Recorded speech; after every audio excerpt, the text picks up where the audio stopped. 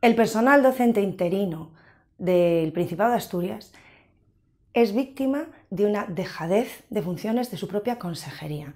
Es decir, cientos de profesionales que llevan años dedicados a la formación propia y a la enseñanza en esta educación pública asturiana no tienen quien les defienda para poder quedar eh, estabilizados en sus plazas. Hasta hace dos semanas la Consejería de Educación no se puso en contacto con los sindicatos para mm, contarnos los criterios que iban a aplicar a la hora de eh, estabilizar las plazas que iban a los procedimientos eh, extraordinarios derivados de la ley de diciembre.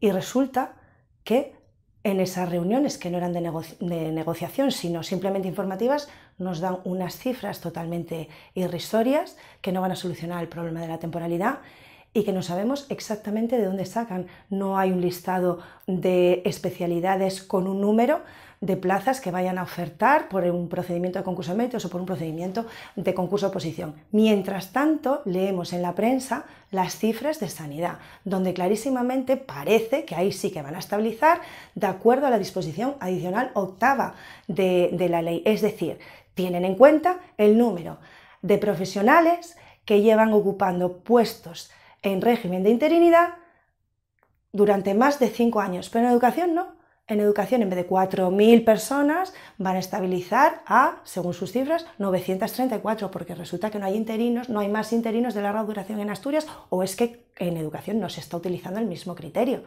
Eso es fraude en la estabilización.